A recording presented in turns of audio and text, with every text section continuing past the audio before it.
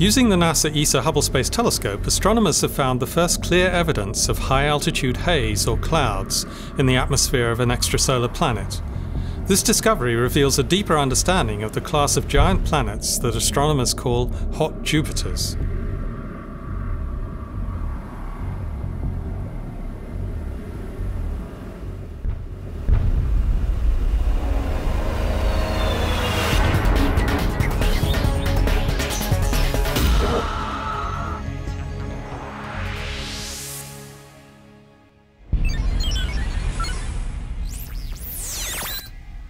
This is the Hubblecast, news and images from the NASA ESA Hubble Space Telescope.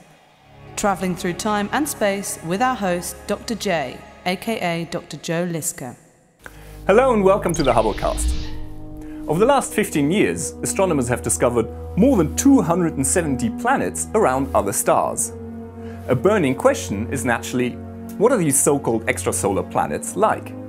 Well, most of them are actually giant gaseous worlds, several times the size of Jupiter, which is our own solar system's largest planet.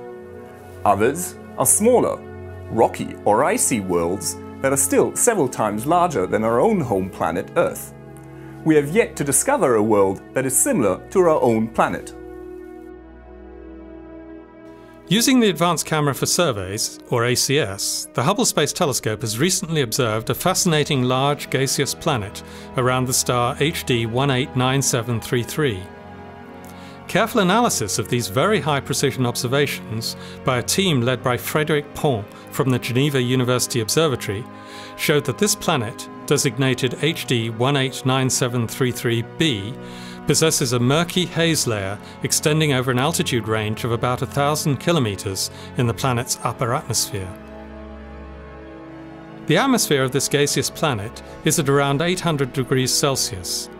This is due to its proximity to its parent star and is the reason that astronomers call this type of planet a hot Jupiter.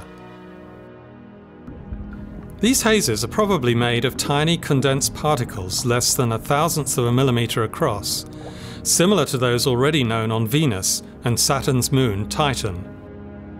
Their presence means that the sky over HD 189733b would look very much like a red hazy sunset viewed from an industrially polluted city on Earth. Today we have a special guest. This is Dr. Bob Fosbury. He's the leader of the European Hubble effort. So tell me, Bob, what's so special about this particular star and its planet? Well, this is a rather special planetary system because the star itself is quite small. It's only about 75% of the size of our Sun, and yet the planet itself is larger than Jupiter. So when the planet transits in front of the star, it, uh, it obscures quite a large fraction of light from the star, which enables a very accurate measurement. So what exactly made these observations so precise? Why was this only possible now?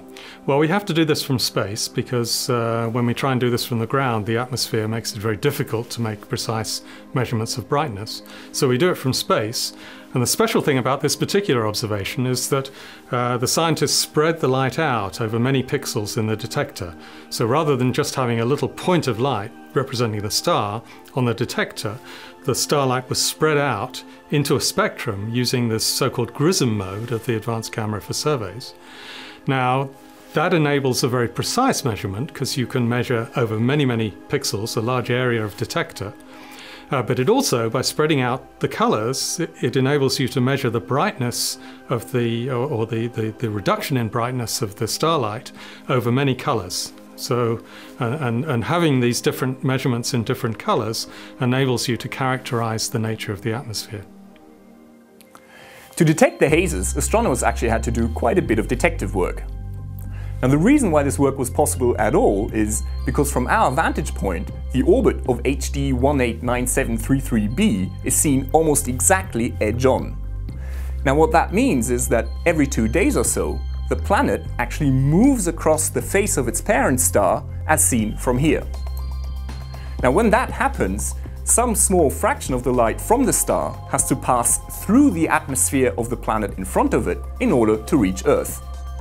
Now because of this process, the composition of the atmosphere of the planet is stamped onto the light like a unique fingerprint. astronomers can then see this fingerprint in the spectrum of the star's light. The astronomers were expecting to see clear signatures of sodium, potassium, and water in the planet's atmosphere. The fact that these were not seen led them to this conclusion that they were being masked by red coloured high clouds or haze. According to the scientists, the haze probably consists of tiny particles, condensates of iron and silicates. When extrasolar planets were first discovered about 15 years ago, little did we know how quickly we would begin to unravel their secrets. The new Hubble observations are an important step towards a better understanding of these amazing planets outside our own solar system. Who knows what we'll discover in the next few years about these distant worlds. This is Dr. J, signing off for the Hubblecast. Once again, nature has surprised us beyond our wildest imagination.